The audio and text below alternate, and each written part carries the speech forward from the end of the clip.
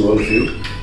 Uh, I'm honored to be part of this TED, uh, TEDx talk and uh, enlighten my young friends to, to, to understand what I do. Uh, my name is Anees Adenwala. I'm a diving instructor. I've been diving since 25 years and lived a lot in Lakshadweep. Uh, that's where it all started for me. Uh, coming back to my first trip to Lakshadweep was just amazing in its own way because when I'm when I was working with an ad filmmaker and one of the drawers in the office had a photograph of my boss on a, on a beautiful island with uh, white sands and blue waters and I, it just amazed me as said, where is this? ASAP was the reply, this is Lakshadweep. I said, so when, when are we going for a holiday? And the next thing we realized that we're planning this holiday out and um, we, we are on our way to Lakshadweep. That's where I tried my first dive ever by putting on a mask scuba equipment in shallow waters, and it was just an amazing feeling to breathe underwater. And when I came out, I was like smiling, and I don't know what what happened, but it was just one of the most amazing experiences I've ever had. Uh, that's what hit me and triggered me that I'd love to teach and you know get people excited about this sport. And we are onward to uh, coming back to inaugurate the dive center in Lakshadweep.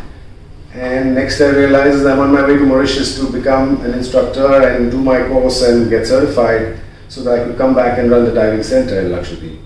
And that's what I did for 10 years and loved every bit of it, taking people underwater, introducing them, getting them certified.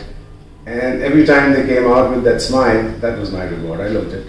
It was great fun. Um, so diving for me has always been passionate and uh, the respect for the ocean has been huge because we're too small.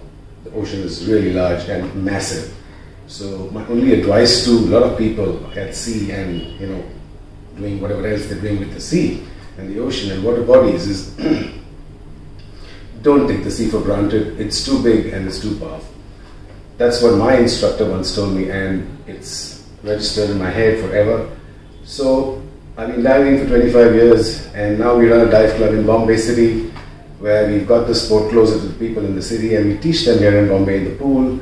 They do the theory, they do their uh, examinations and then we travel with them outbound to many destinations and complete their certification.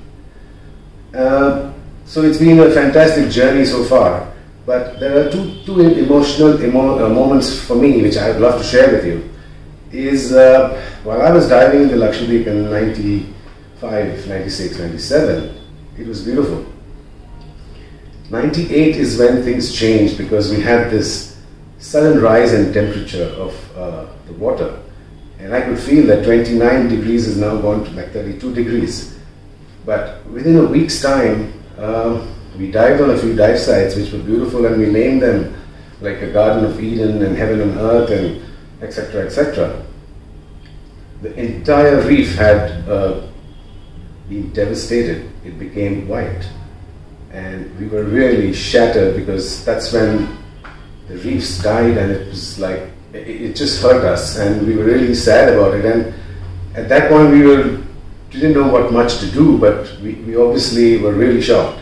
And we just gave it time and thinking that what lives has to die and so on. But the reason is because of this current, and this is all part of global warming.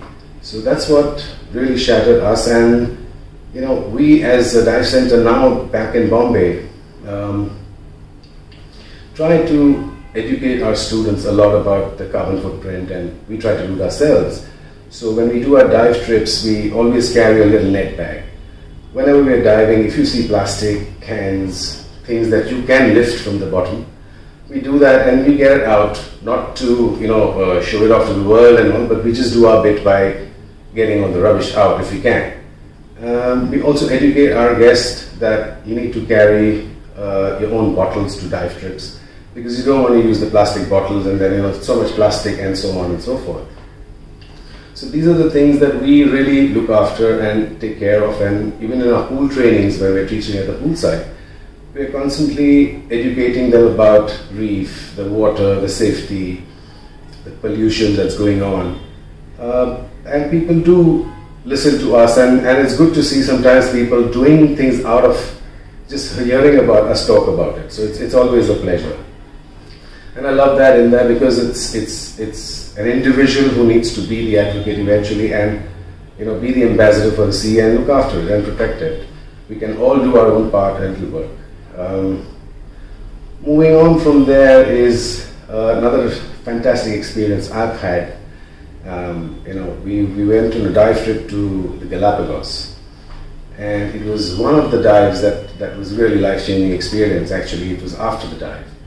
So during the dive, when we were finishing, uh, we, we saw a few whale sharks, a lot of hammerheads. It's beautiful, great dive. Everybody was amazed. But when we were coming back to the surface, at a point, our instructor and guide noticed these huge fish, I mean mammals, underwater, and I couldn't see them because they were a little far away from me. But I was, I mean, reachable distance from my guide, and he um, looked at it, and you know, he was really excited and animated underwater. So when we came back on the surface, he was screaming, "Orcas, orcas!" Now, orcas are the killer whales. Uh, they're beautiful animals. They always hunt in a pod. So we were back on the boat, really excited, and you know, we asked him that can we jump in to swim with the orcas? So he's saying, yeah, why not? Because these orcas are hunting hammerheads. They're not going to be bothered by you, so you're not on the menu at all. So it was before he could even say anything. We all, like all of us, were excited. But I think about six of us put on our masks, snorkel, and fins, and I had my camera running. Jumped into the water. The first thing I see is this pod of orcas and the female orca, who's the leader she turns and she started coming towards me. And I was quite close to the boat, but I just saw her coming close to me and there was eye contact maintained and she looked at me, I looked at her, I was like, hello, I'm sorry to be here, but you know, you're amazing. And that's what I could do and my heart was racing.